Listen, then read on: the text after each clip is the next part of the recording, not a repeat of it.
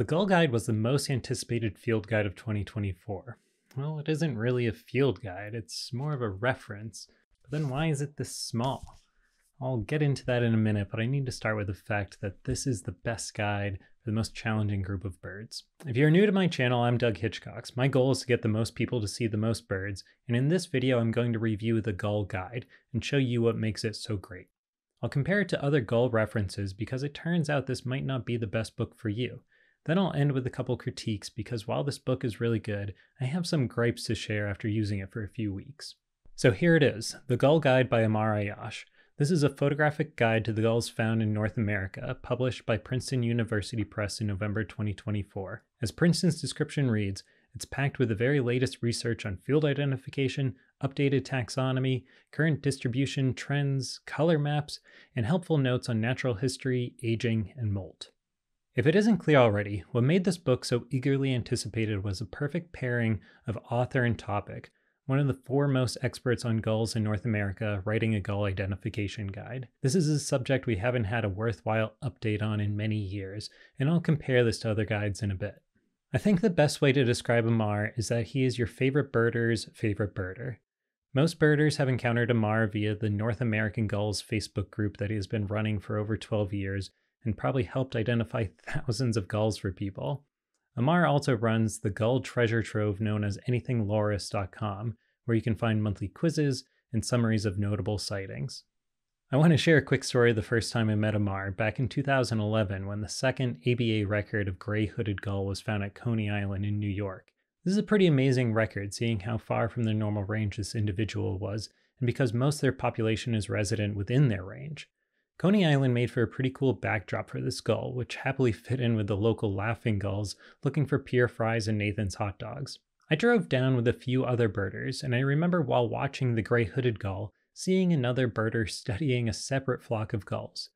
I don't remember if I went over because I wasn't sure if they knew where the gray hooded gull was, but it became pretty obvious they were a true larophile when they seemed more excited to point out to me the first summer lesser blackback gull. Obviously, that was Amar. Diving into the actual book, I can't emphasize enough how valuable the intro text is. I know how exciting it can be to jump right into species accounts and figure out exactly how to tell European from American herring gulls, but especially if you are fairly new to gulls, you need to start here. Without just reading parts of this book to you, one point I want to make about why this book is so good it's probably thanks to Amar's background as a math teacher. Topics and concepts are introduced in a very accessible way that don't overwhelm the reader. As an example, in the discussion on aging gulls and how IDs typically begin with assigning an age to a subject, after explaining there are two, three, and four cycle species, and even acknowledging our own assessments are no more than a crude estimate, that section ends with the acknowledgement that he hadn't even defined what a cycle was yet. He front loads information and makes slowly learning it easier than as if trying to just force a whole new language on you at once.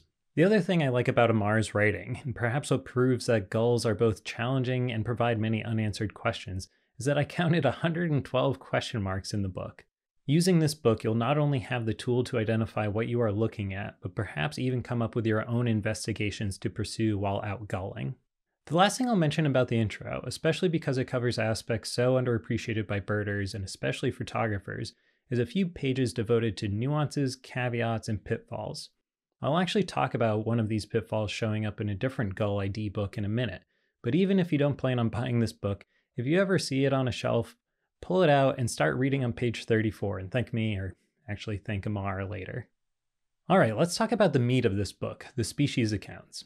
As expected, they are incredible. The best way I can think to describe them is that not only is nothing left out, but you will learn something from every one. I thought I knew most gulling fun facts from all my years as a naturalist, but I honestly learned something new on page one of this book. Species are put into a few intuitive groups the small tern like and hooded gulls, the larger Larus gulls, and the hybrids. But notably, there is a subsection among the Larus to cover the aptly named herring gull complex. There are 47 pages, nearly 10% of the whole book devoted to the three species covered in this complex. Kudos to Amar for breaking these up as he did, since it was just this year that the eBird Clements taxonomy split herring gull into four species American herring, European herring, Vega, and Mongolian. The former three of these have been previously recorded in the ABA area and are covered in this section. As a side note, the AOS did not accept this split, and the taxonomic waters just get murkier and murkier, at least for now. Anyways, the impressive scale of this book can be seen in the number of photos just in this subsection. There are 89 plates just for American herring gull, 38 plates for European herring gull, and 45 plates for Vega gull. After this complex is the account for yellow legged gull, and that reminds me, I want to give a shout out to the Lifeless podcast, where Alvaro and George did a great interview with Amar. While they were talking about how the species accounts have really interesting overview section, Amar calls out the account for yellow-legged gull where he did his own analysis of North American records and ends with this banger, quote, "It would appear that many of the historic records are in error."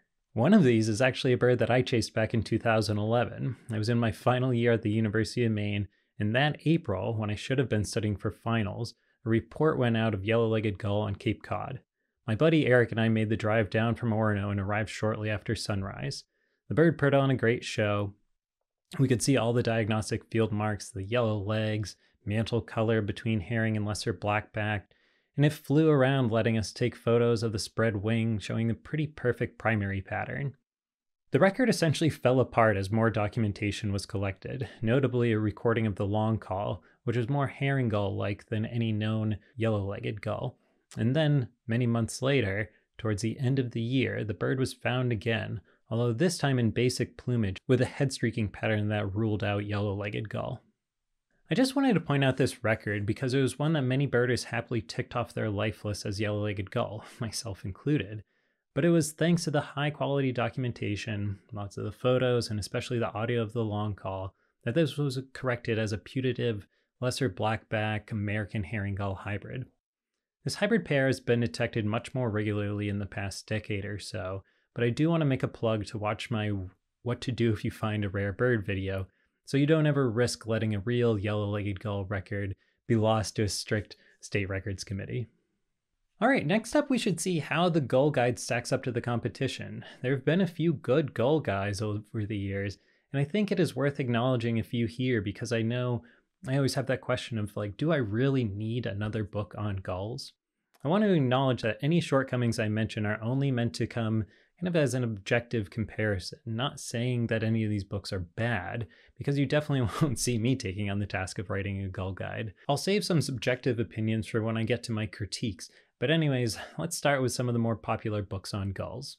Perhaps best known for its similarly exhaustive treatment of gulls is the Howell and Dunn Gulls of the Americas that was published as part of the Princeton Reference Guides series in 2007. This book covers 36 species, surprisingly different from the 36 covered in the Gull Guide, but this is mostly because Howell and Dunn included South American species like Andean and lava gull. But as mentioned, we've also seen some taxonomic changes in our North American hemisphere gulls too. And it is those changes that is honestly one of the few shortcomings of this book, being almost two decades since it was first published. Amar mentioned in an interview that he had asked Steve Howell if any update was in the works, and it was that knowledge that nothing new was coming that motivated Amar to start work on the Gull Guide in 2018. The book is laid out much like others in the Peterson series, with written species accounts in the back, and for most species only being a page or two long, while plates are located in the front. Similar to the Gull Guide, Gulls of the Americas is overloaded with photos showing all sorts of angles and variation. Along with being a bit out of date, this book's biggest problem is that it has long been out of print, and finding copies has been very difficult over the years. You can find reasonably priced copies online now, but there was a time I remember the lowest used price going for around 200 US dollar. If anyone still wants to pay that much, I've got one right here for you. I have to give recognition to Peter Grant's Gulls, A Guide to Identification, the first edition came out in 1982, the second edition followed up in 1986. Acknowledging that most field guides didn't adequately cover gulls, the book was a culmination of five papers originally published in British Birds that focus on the identification of gulls in the Western Palearctic, which shows as you look at the list of species covered. Prior to this book, the best treatment of gulls had been Jonathan Dwight's monograph, The Gulls of the World from 1925. While I cannot recommend it at $300, you can download a PDF and still appreciate all the spread wings and tails and the, and the beautiful head and feet plates. And again, that is a funny thing about Grant's gulls, at least from American perspective, is the grouping of gulls, and particularly the seventh group in the back of the book, which covers all the gulls found in western North America. The photos come up short by modern standards, all being black and white and showing shortcomings of those film days, but why I would still encourage folks to grab a copy off a used bookshelf is for the illustrations that accompany each species account. While most gull books, like the Gull Guide, are full of photographs, these scientific illustrations can put any species in the same pose to illustrate different ages and plumages, which I find immensely helpful and can really only be done by an artist. Along those lines, I have to mention the illustrations by Hans Larsson in the Helm Identification Guide's Gulls of Europe, Asia, and North America, written by Klaus Olsen. Again, as someone who really prefers an artist's ability to lay out gulls in the same position in line up a first through fourth cycle for easy comparison, I think this is one of my favorite gull identification books to ever come out. And while the species plates might lack some detail, there are earlier pages covering a comparison of wingtip patterns in large gulls, showing 63 spread wings. This book is also out of print, but used copies aren't too hard to find. And also, while I think it's worth having a copy on your shelf, you can preview it on Google Books and see all those spicy spread wings for free. Amar clearly was a fan of this artwork as well, as Larsson's Iceland gull wingtip plates are also included in the Gull Guide. Olsen also has a newer photographic guide to all of the gulls of the world, which came out in 2018. Unfortunately, that means it missed the newest taxonomic updates, but unless you really want a book of all the gulls in the world, this one comes up a bit short of the coverage that you'll find in the Gull Guide. The last book I want to mention is a slightly newer one, released in 2019, but takes a very different approach to Gull ID, called Gulls Simplified by Pete Dunne and Kevin Karlson. These are two authors that probably don't need any introduction, as they've likely published more articles and essays in addition to Kevin's plethora of photos than most other birders. What is unique here is the approach they took. Unlike most guides, that focus on aging gulls and looking at specific feather details, they really lean into the idea of birding by impression. Karlson wrote a whole book on this concept, and that was part of the inspiration for Gulls Simplified. I just want to read this one line that I think sums up both the focus of the book and what you'll likely take away from it as well. From page 21, if you're following along at home. About the time Pete decided to write this book, a woman attending one of his regular bird walks asked of a gull standing on the beach one that he had identified as a lesser blackback gull, whether it was a first or second cycle bird. To which he replied, I have no idea, having no more interest in the bird's age than he did knowing which side of the colony it fledged from or how it voted in the last presidential election. All Pete knew or cared was that it was a certifiable lesser blackback gull, a determination made based on size its lean, trim, athletic proportions, its long wings, and its mostly uniform, darkish plumage. yada, yada, yada. Now, I have a feeling that since you're watching a YouTube video about a gull identification book, you probably would have cared if it was a first or second cycle bird. If not, I think Gulls Simplified is for you. And not to kick this book while it's down, but one other thing I wanted to mention that I found difficult about the book was the white balance issues throughout. Karlson took most of these photos, and you can rarely tell which of his go back decades to his film days. These Iceland gulls really illustrate this problem well, where these three in the top and left were credited to other photographers, but the bottom right photo of Karlson shows a strong blue green cast to it. And you can find these photos with funny magentas or harsh blown whites throughout. Color issues aren't unique to Gulls Simplified. Even the Howell and Dunn book has some pretty color balance challenged photos, but I wanted to point this out mostly to highlight Amar's effort in the Gull Guide to amass a collection of the best photos from dozens of different photographers to best show what he was trying to illustrate. Even choosing to put Ryan Sanderson's stunning black legged kittiwake over one of his own photos on the cover of his own book is a nod to the selflessness in making this book as best it could be. I do have to share one big gripe I have with this book. That is actually small. I mean, the book is small, and I guess the gripe is too, given how bo- how good the book actually is. But I just wish I could appreciate it a bit more with larger images. The book is only about 6 by 8.5 inches, making it just slightly larger than some of our favorite field guides, but I don't think it's meant to be a field guide. This much densely packed information feels more like a reference, and I'd love to have seen it printed like one. Compared to all the other gull guides I mentioned earlier, it's easily the smallest. And this only matters because that means most plates are only measured about two by two and a half inches, and some are even smaller than that.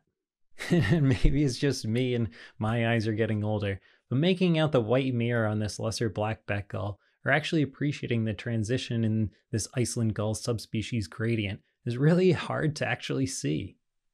I will say that despite a couple of these examples, in most cases the specific field mark that Amar mentions in the captions is readily visible, and I'm sure that's not a mistake. Perhaps I'm just used to viewing gull images on the North American Gulls Facebook group where you can easily enlarge and pixel peep, but I would happily pay more for a large format version of the Gull Guide. If I could make one other request for second edition, it would be to have more of these quick reference guides. The press release for the book hyped up the one of a kind cheat sheet, and the one page on adult bare part features is super cool, but felt like a little bit more could have been done. Let me be clear this book is 100% worth getting. I want to encourage everyone to look for it at your locally owned bookshop or nature center. If you go online, Buteo Books is certainly worthy of your support. Or if you go and order it from Princeton University Press right now and use the code PUP30, you can get it for 30% off. I have no idea how long that will last. I just saw it on one of their Facebook posts and figured you'd appreciate saving a few bucks. As always, thanks for watching. You can help me with my mission of getting the most people to see the most birds by clicking that like, subscribe. I'll see you in the next one.